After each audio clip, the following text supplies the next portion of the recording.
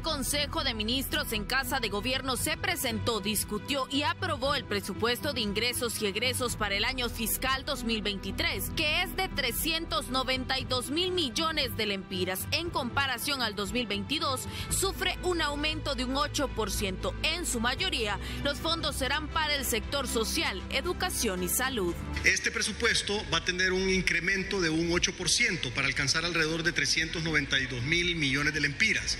Este crecimiento de 8% es inferior a lo que es la inflación proyectada. La inflación proyectada ronda alrededor de un 12% y un crecimiento de 8% está por debajo, obviamente, de la inflación proyectada y por lo tanto el crecimiento real es negativo.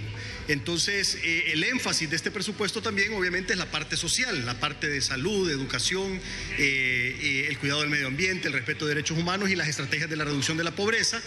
Alrededor de 78 mil millones de lempiras serán financiados, según lo manifestado por el ministro de Desarrollo Económico Pedro Barquero. Sin embargo, la deuda solo crecerá en 25 mil millones de lempiras. Se va a financiar alrededor, recordad que hay deuda que entra y deuda que sale. La deuda que entra van a ser alrededor de 78 mil millones de lempiras, pero se van a pagar un poco más de 50 mil millones de lempiras. Entonces realmente la deuda solo va a crecer alrededor de 25 mil millones de lempiras.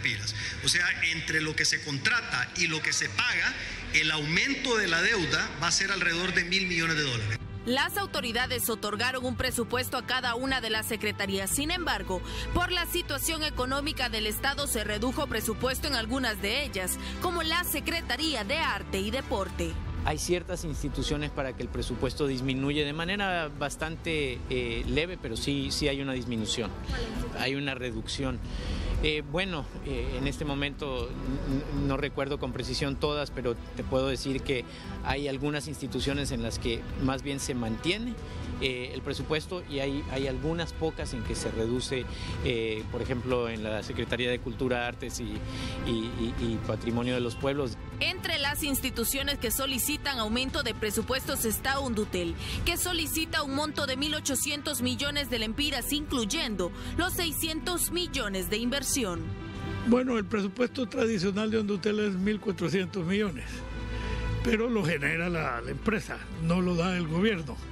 Con la aportación del gobierno podemos llegar como a 1.800 millones. Vamos a ir al Congreso mañana para ver si condonamos deudas de hace 10 años, 12 años, que los limpien los balances y poder tener balances positivos para integrar una sociedad con empresas de alta tecnología en comunicaciones.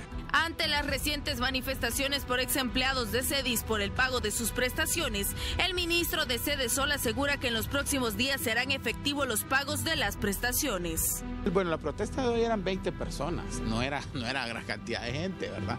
Que es los mismos cabezas calientes dirigentes nacionalistas.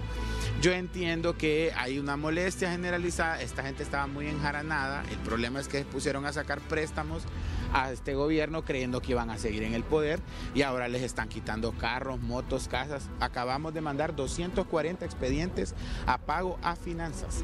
Ya ahorita en la tarde empiezan a caerle pagos a toda esa gente. Por lo menos ahorita que vine ya le habían pagado como a 50.